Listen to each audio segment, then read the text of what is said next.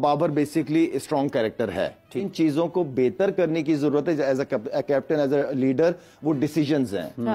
تگڑے decisions اچھا کپتان نے ڈیسیجن لینے۔ اب جتنے سینئر ہیں رضوان فخر شاہین نسیم شاہ رہو حارث ہاں یہ جتنے بھی لڑکے ہیں اماد وسیم عامر سارے سینئر لڑکے ہیں بہت سینئر ان سب کا ان سب کو بابر بابر کو سپورٹ کریں۔ ان کی ان کی سپورٹ بابر کے لیے بڑے ایونٹس کے اندر بہت ضروری ہوگی۔ السلام علیکم ناظرین۔ انگلینڈ کے خلاف دوسرے ٹی ٹوینٹی میچ میں شکست کے باوجود شاہد خان افریدی بابر اعظم کی حمایت میں بول پڑے۔ شاہد خان افریدی کا مکمل انٹرویو بھی آپ کو سنائیں گے لیکن اس سے پہلے آپ کو بتاتے چلیں دوسرے ٹی ٹوینٹی میچ میں انگلینڈ نے پاکستان ٹیم کو عبرتناک شکست دے دی۔ انگلینڈ سے دوسرے ٹی ٹوینٹی میچ میں شکست کے باوجود شاہد خان افریدی کا کہنا تھا کہ دوسرے کھلاڑی بابر اعظم کو سپورٹ نہیں کر رہے، جس کی وجہ سے دوسرے ٹی ٹوینٹی میچ میں شکست ہوئی ہے۔